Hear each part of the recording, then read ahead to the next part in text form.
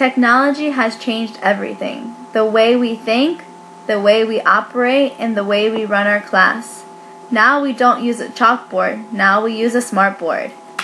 Technology is everywhere you look in your closet, in your pocket, and even in your shower.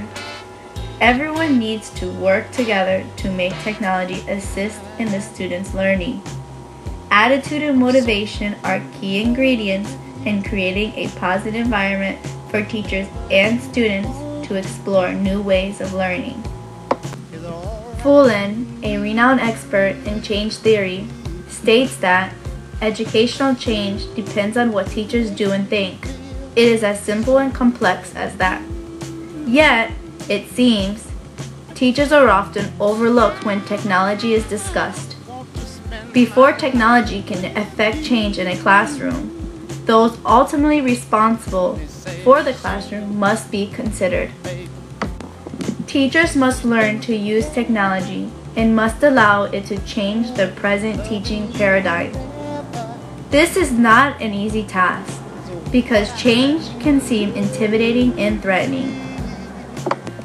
Some teachers do not use technology in their classroom because change of any kind bring about fear, anxiety, and concern. Using technology as a teaching and learning tool in the classroom does so to an even greater extent since it involves both changes in the classroom procedures and the use of often unfamiliar technologies. An elementary teacher said, the computer has been an empowering tool to students. They have a voice and is not any way secondary to anybody else's voice.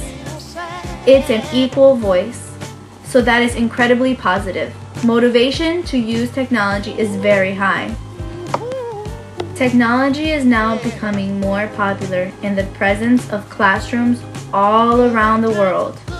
Tomorrow's future is in the hands of today's students. So having computers in the classroom sounds like a great idea to me. There are many positive outcomes of technology in the classroom. Here are a few. Technology use allows many more students to be actively thinking about information, making choices, and executing skills than is typically in teacher-led lessons. Many teachers are now using smartboards. Smartboards are beneficial because it allows interaction among students. It also allows students with certain disabilities, such as hearing problems, vision, and lack of mobility, to help further enhance their education. Smartboards help teachers plan and record students' work. This kind of technology allows teachers to have a wide range of resources to teach many types of learning styles we see today. Technology is moving at a rapid pace, so fast, sometimes we can barely keep up with it. It may seem like a lot at first, but we must always remember where it comes from, and that is the classroom. I personally can't wait to see what our future holds.